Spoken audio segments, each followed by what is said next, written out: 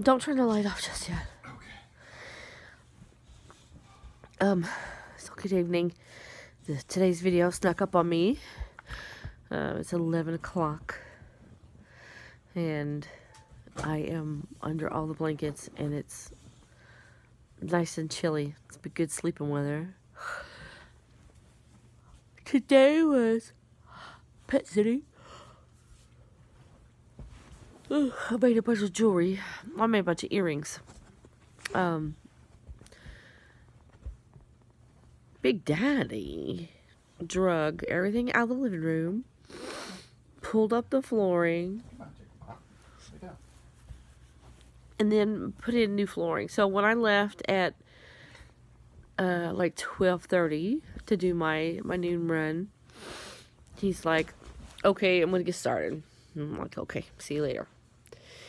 Then I got back at three thirty, and the living room was in the kitchen, and all the floor was up. I was like, "Holy cow!"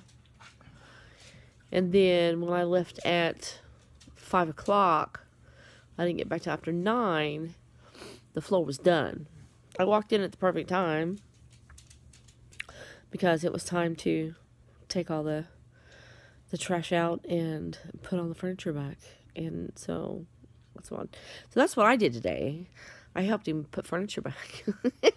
he did it all by himself and it looks gorgeous. So now we've got one, two, three, four rooms done, right? Four rooms. Well, I say we, actually he. Uh, and they're all they all match. They're all really nice. So, whew, had a, and that's um, that's all I got. That's really ridiculous. I don't even want to post this. I gotta say something brilliant. Something brilliant. Such a brilliant. Jesus. I gotta do this, James. This is a bust. Today's a bust. I'll make it for tomorrow, I promise.